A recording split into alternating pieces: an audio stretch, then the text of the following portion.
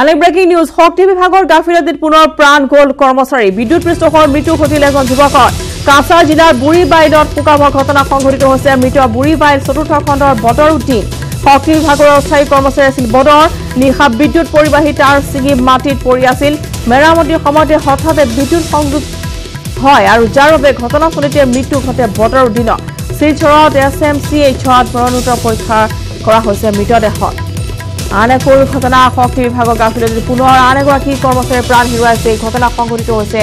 কাছাৰ জিলাৰ বুঢ়ী বাইলত এই শোকাবৰ ঘটনা সংঘটিত হৈছে। বিদ্যুৎ পৃষ্ঠ হৈ আন এগৰাকী কৰ্মচাৰী এইবাৰ প্ৰাণ হেৰুৱালে। আৰু এই ঘটনা বুঢ়ী বাইল চতুৰ্থ খণ্ডৰ বদৰ উদ্দিন নামৰ এই এইগৰাকী শক্তি বিভাগৰ কৰ্মচাৰীয়ে অস্থায়ী বিভাগৰে এগৰাকী কৰ্মচাৰী আছিল শক্তি বিভাগৰে। নিশা বিদ্যুৎ পৰিবাহী তাৰ ছিঙি মাটিত পৰি আছিল আৰু মেৰামতি কৰি আছিল তেওঁ। সেই সময়ছোৱাতে হঠাতে বিদ্যুৎ সংযোগ হোৱাৰ ফলতেই ঘটে বদৰ দিনত